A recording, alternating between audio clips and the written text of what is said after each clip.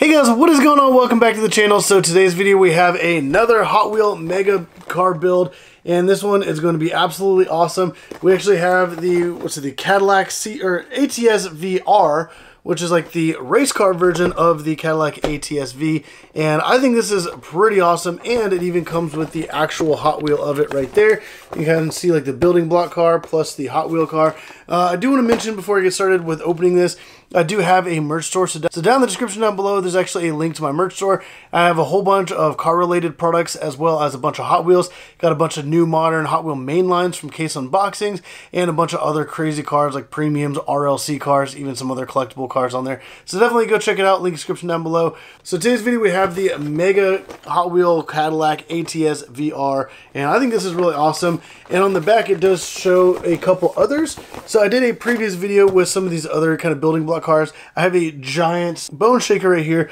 I also have this smaller one, which is, I think, really cool. And then here's the Hot Wheel version of that. It's the exact same car. I think that looks awesome. So this one, I believe, is like the same scale as this. And if you guys are interested in picking one of these up, there is a link description down below. You guys can hop on to Amazon, pick one of these up. And I believe they actually have these on Amazon as well. So if they do, I'm going to include the link. But also, there is an Audi that's coming out soon that you guys can see right there. So if that is available as well, I will add that link in addition to the others. So let's go ahead and move the bone shaker out of the way. We're going to go ahead and bust this open, pull out the card, check that out, and then to get started with the build.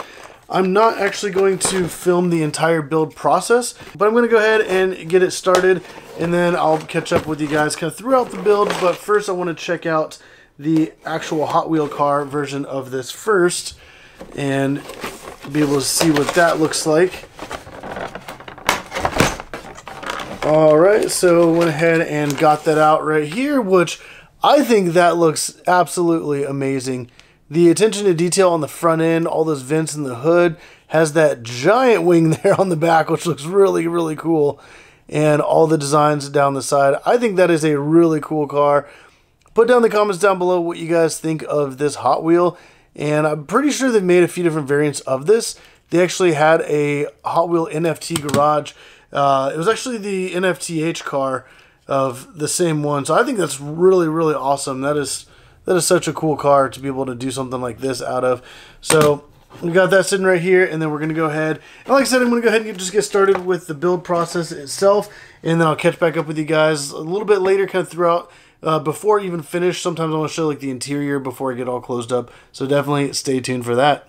Alright, so before I got too far into the build, I did want to show you guys a bunch of cool little features already.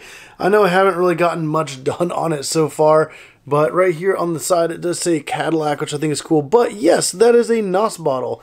So I did want to show that off before I close everything up because there's like a little gauge. You can kind of see it hiding right there, a little white gauge on the NOS bottle itself. And that's this really cool kind of gauge cluster, not gauge cluster, like the center console. I got a gear shifter, the little e-brake right there. So before I got all this kind of too far, I did want to show you guys that little NOS bottle because I thought that was actually really cool. Nice little touch that you'll probably never see or notice, even like that little gauge on there. So yeah, I just wanted to show you guys that. But let me go ahead and get back to building this and I'll catch back up with you guys a little bit later in the build.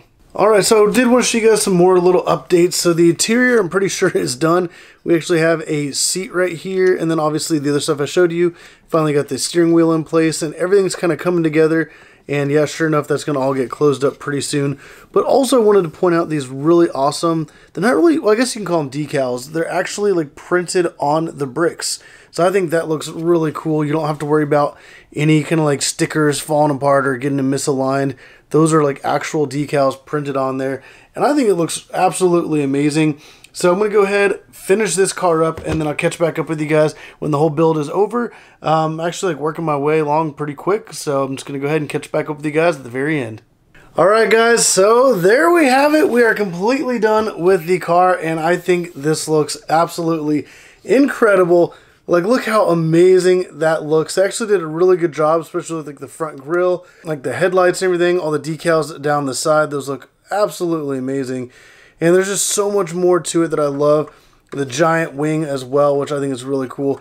But something I did really like and I was kind of worried about is when you look at the car from above, you see those giant rear fenders and then the front fenders like that as well. Just massive wide body fenders and they actually did a really good job with that you see how wide the rear fenders are as well as the front fenders and then even all the little detail there on the hood they actually were able to kind of replicate that as well which i think that looks really really good man and even like the giant wing looks really cool as well and i think overall mega did a great job with replicating this hot wheel car I think that is awesome. Like all the attention to detail is there. The designs down the side, on the fenders, like everything just looks absolutely amazing.